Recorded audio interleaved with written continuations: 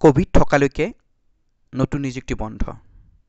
এনেদৰেই আপোনালোকে হয়তো বিভিন্ন নিউজ পেপাৰত আজি দেখা পাইছে। লগতে কালিৰ পৰা আপোনালোকৰ মাজত বিভিন্ন প্ৰশ্ন হৈ আছে নতুন নিযুক্তি বন্ধ হ'ব নেকি? আমি ইয়াৰ আগৰ ভিডিঅ'ত এইটো প্ৰকাশ কৰিছিলোঁ যে নতুন নিযুক্তি বৰ্তমান সময়ত কিছু সময়ৰ বাবে স্থগিত কৰা হৈছে যি যিহেতু যি সামাজিক ব্যৱধান আছে সেইটো সাক্ষাৎকাৰত মানিব পৰা নাযাব সেইবাবে। আৰু হিমন্ত বিশ্ব শৰ্মা ডাঙৰীয়াই নতুন নিযুক্তি বন্ধ হ'ব বুলি কোৱা নাছিল মাত্ৰ বৰ্তমান পৰিৱেশত সাক্ষাৎকাৰ যে ল'ব নোৱাৰে তাৰ বিষয়েহে কৈছিল। গতিকে আপোনালোকে নিউজ পেপাৰত বিভিন্ন খবৰ দেখিছে এইখন এখন নিউজ পেপাৰৰ খবৰ। ইয়াত এনেকৈ লিখিছে ৰাজ্যৰ চৌদিশে উটি মাৰি ক'ভিড নাইণ্টিন নাইণ্টিনে ভয়াৱহ ৰূপ লোৱাৰ পৰিপ্ৰেক্ষিতত চৰকাৰে বন্ধ কৰিছে বিভিন্ন চৰকাৰী বিভাগত। নতুন নিযুক্তি। ৰাজ্যখনত ক'ভিডৰ পৰিৱেশ থকালৈকে কোনো ধৰণৰ নতুন নিযুক্তি নহয় কিয়নো চৌদিশে মহামাৰীৰ ৰূপ লোৱা কৰোণা ভাইৰাছৰ বাবে চাকৰি প্ৰাৰ্থীৰ মাজত সাক্ষাৎকাৰ অনুষ্ঠিত কৰিব পৰা নাযাব। আজি যোৰহাটত অহা যোৰহাটলৈ অহা ৰাজ্যৰ বিত্ত স্বাস্থ্যমন্ত্ৰী ডক্টৰ হিমন্ত বিশ্ব শৰ্মাই সংবাদ মাধ্যমৰ আগত এই কথা সদৰি কৰি কয় যে ক'ভিডৰ এনে পৰিৱেশ চলি থকালৈকে ৰাজ্যত নতুন নিযুক্তি নহয়। যিহেতুকে বৰ্তমান পৰিস্থিতিত চাকৰি প্ৰাৰ্থীক মাতি আনি সাক্ষাৎকাৰ অনুষ্ঠিত কৰিব নোৱাৰি। ইয়াতে এইটো কথা কৈছে যে বৰ্তমান সাক্ষাৎকাৰ অনুষ্ঠিত কৰিব নোৱাৰি। কিন্তু এইটো নহয় যে বৰ্তমানৰ এই খবৰটো এইটো বুজোৱা নাই যে চাকৰি যি আছে সেইটো সকলো বন্ধ কৰি কৰিছে চৰকাৰে বা ক'ভিডৰ বাবে সকলো নিযুক্তি প্ৰক্ৰিয়া বন্ধ কৰিছে। গতিকে ইয়াৰ বাবে অলপ আগতে হিমন্ত বিশ্ব শৰ্মা ডাঙৰীয়াই স্পষ্টীকৰণ কৰিছে। সেইটো আপোনালোকে চাই লওক। এটা টুইট কৰিছে। টুইটটো আমি দেখাই দিছোঁ।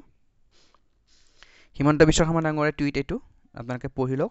Very unhappy with the media report attribute to me that the state government will not provide any more government employment I do not know' why some media always fabricate my statement there is no' ban on employment we are encouraging all department to advertise and recruit their vacant post vacant post মানে ভেকেণ্টটো তেওঁৰ type mister হৈছিল সেইটো কৈছে vacant post অৰ্থাৎ এইটো এঘাৰ বাজি এঘাৰ মিনিটত তেওঁ কৈছে আজি। দেখিছে আপোনালোকে ঊনৈছ জুলাই? তেওঁ এইটো কথা কৈছে যে তেওঁ এইটো মনত দুখ পাইছে যে মিডিয়াৰ যি যিসকল আছে তেওঁলোকে ৰিপৰ্টটো এনেদৰে কিয় কৰে যে তাৰ ওপৰত বিভিন্ন ৰহন সানি তেওঁ তেওঁলোকে ষ্টেটমেণ্টটো কৰে। তেওঁ এইটো কোৱা নাছিল যে গভমেণ্টৰ যি এমপ্লয়মেণ্ট আছে সেইটো বন্ধ কৰা হৈছে। তেওঁ আনকি এইটো কৈছে যে ইয়াতে কোনো ধৰণৰ বেন নাই এমপ্লয়মেণ্টত তেওঁ আনকি ডিপাৰ্টমেণ্টসমূহক কৈছে যে তাৰ বিজ্ঞাপন প্ৰকাশ কৰক আৰু যি ভেকেণ্ট পোষ্ট আছে সেইটো ৰিকুইট কৰক। কিন্তু বৰ্তমানৰ পৰিৱেশত যিহেতু সাক্ষাৎকাৰ অনুষ্ঠিত কৰিব নোৱাৰি সেইবাবে অকণমান হয়তো লেট হ'ব। কিন্তু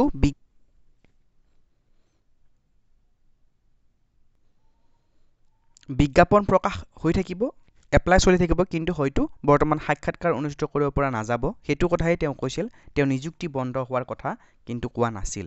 সেইটো কথা তেওঁ স্পষ্ট কৰিছে আৰু মিডিয়াক কৈছে যে এনেধৰণৰ ৰিপৰ্ট যাতে নকৰে যে যাৰ দ্বাৰা যি নিবনুৱাসকল আছে তেওঁলোকে মনত বেয়া পায় বা দুখ পায় কাৰণ নিযুক্তি প্ৰক্ৰিয়া বন্ধ কৰা নাই। সেইটো কথা তেওঁ অলপ আগতে প্ৰকাশ কৰিছে। গতিকে এয়া আছিল কিছু শেহতীয়া খবৰ আপোনালোকক দিব লগা যে হিমন্ত বিশ্ব শৰ্মা ডাঙৰীয়া অলপ আগতে এইটো প্ৰকাশ কৰিছে যে অসমত যি নিযুক্তি প্ৰক্ৰিয়া আছে ভেকেণ্ট পোষ্টৰ এগেইনষ্টত চৰকাৰী নিযুক্তি সেই বন্ধ কৰা হোৱা নাই নিযুক্তি প্ৰক্ৰিয়া চলি থাকিব।